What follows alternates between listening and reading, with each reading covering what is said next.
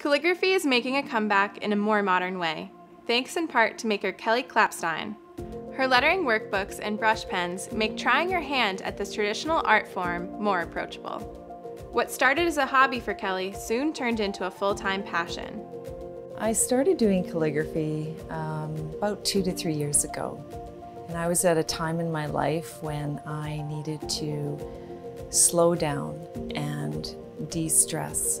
So I picked up a brush pen one day and started to practice with it. I somehow connected with the pen and the paper and the simplicity of the ink laying down on the paper. Everything else fell away. The workbooks build on a foundation of basic strokes.